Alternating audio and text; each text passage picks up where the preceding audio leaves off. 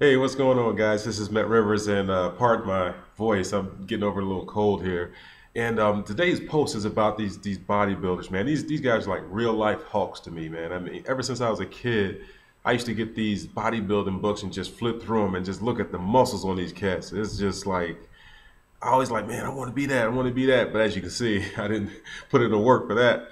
But you know, it's it's it's just when you think about all the time, the dedication the hard work, the the the, the commitment level of, of doing that over years and years and years and years to get to a certain point to get that that one title, Mr. Olympia. You know, like Arnold Schwarzenegger did back in the '70s, I think it was.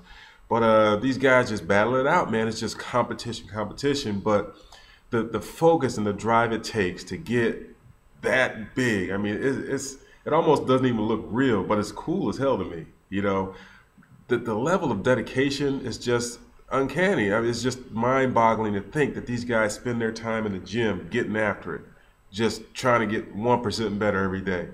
But it just goes to, you know, when I re- reflect that or transition that over to home based business, you know, a lot of people don't have the, t- the dedication, the, the consistency, the, the commitment level uh, to really hit the incomes that they say that they want, me included, you know, but I'm always getting better every day. You know, that's that's what it's about. It's about, you know, staying trying just staying on course, staying focused and really keeping your eye on the destination that you're trying to get to, you know, because every day is a struggle. Every day is a fight, you know. You got to fight the demons of um, procrastination, um, negativity, uh, people tearing you down, this, that, and the other.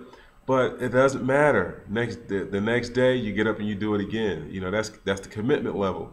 But I'm telling you, there was a movie that came out last year, I think, a Generation Iron or something it was called, what these guys were in. If you look at these photos below here, them guys is a beast.